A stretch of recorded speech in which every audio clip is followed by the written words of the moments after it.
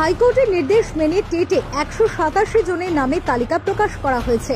দু হাজার চোদ্দ সালের বঞ্চিত টেট পরীক্ষার্থীরা আজ ইন্টারভিউ দিতে উপস্থিত হয়েছেন প্রাথমিক শিক্ষা পর্ষদের দপ্তরে।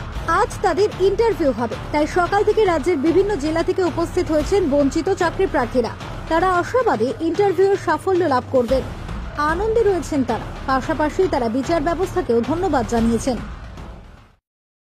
এইটাকে দেখছি আমরা মাননীয় অভিজিৎ গাঙ্গুলির সাফল্য এক প্রকার। মানে অভিজিৎ গাঙ্গুলিকে আমরা বলব যে উনি যে মানে সৎভাবে জিনিসটা দেখেছেন এবং বাস্তব সত্যটা তুলে ধরেছেন, সেটার জন্য ওনাকে ধন্যবাদ জানাই। এবং এর পেছনে আমাদের মাননীয় বিকাশ রঞ্জন ভট্টাচার্য, সুদীপ্ত দাসগুপ্ত বিক্ষোভ ব্যানার্জি, এদের যে অক্লান্ত পরিশ্রম, তার সাথে আমাদের মানে যে সমস্ত প্রার্থীরা আছে, তারা আমাদের পাশে সবসময় স্যারদের পাশে থেকে আমরা স্যারের দিকে মানে বিভিন্নভাবে ইয়ে করেছি এবং স্যাররা আমাদেরকে উৎসাহিত করেছেন যে বাস্তব সত্যটা আমরা তুলে ধরবো।